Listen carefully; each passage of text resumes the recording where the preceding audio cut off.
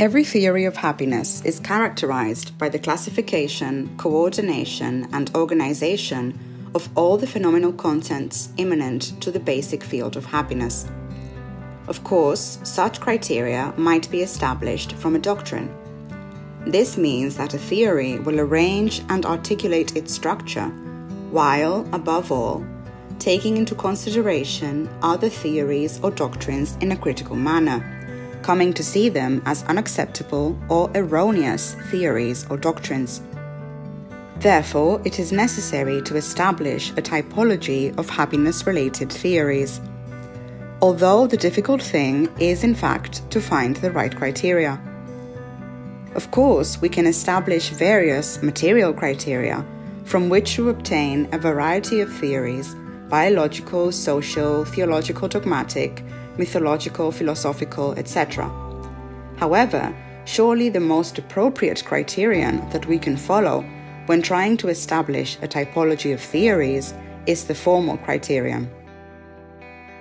From this criterion, we will take into account the theories regarding the regions of happiness, positive happiness, or unhappiness, negative happiness, where the happiness field is polarized, as well as those regarding the region of non happiness or the neutral state.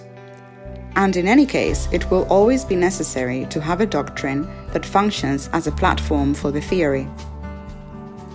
In this regard, it must be borne in mind that both concepts and ideas of happiness, as well as those of sadness, function as conjugate concepts. Conjugate concepts consist of pairings of ideas such as space time, base superstructure, subject object, that maintain a series of relationships between them called conjugation schemes.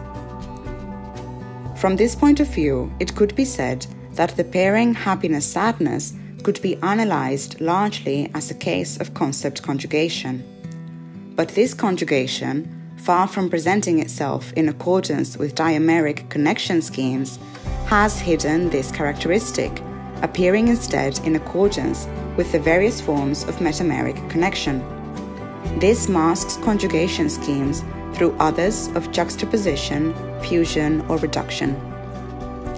Thus, if we assume that the field of happiness is divided into two polarized regions, positive happiness and negative happiness, we could understand the relationship between these two regions according to conjugation schemes between happiness or sadness related terms. The happiness sadness pairing thus functions in the same way as conjugate concepts. Consequently, we would obtain five types of possible theories about happiness.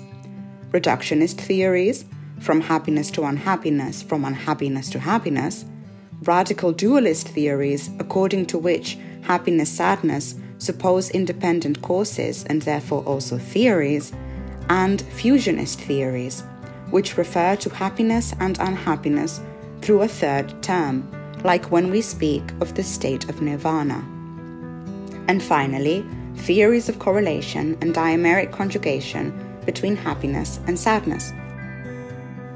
Adhering to the metameric scheme of reduction as the criterion for the typology of theories of happiness, we will either postulate that unhappiness derives from happiness or that happiness derives from unhappiness emerging from opposite terms within the field of happiness. However, we must also take into account the possibility of a neutral perspective that involves a correlation between both terms in the happiness sadness pairing.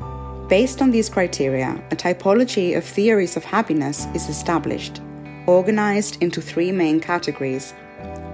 A. Top down theories these are the theories that derive unhappiness from happiness. Here, the point is to reduce unhappiness to happiness. We are facing the metameric reduction scheme. B. Ascending theories. They are the theories in which happiness is derived from unhappiness. It is a metameric exercise where happiness is reduced to unhappiness. C. Neutral theories. These are theories that do not accept the metameric reduction scheme, neither top down nor ascending, but instead belong to another type of correlational relationships, or in the extreme, to conjugation itself. At this point, it is necessary to note that this typology involves a reanalysis that, in turn, presupposes the existence of different working theories, but according to their own emic criteria. Each of the types that falls into this typology appears linked to more elements in its field and related to other doctrinal issues of various kinds theological, cosmological, or political. In any case, mapping theories of happiness is not all. It is also necessary to take into account doctrines of happiness, as, when combined with theories, they involve certain conceptions of happiness.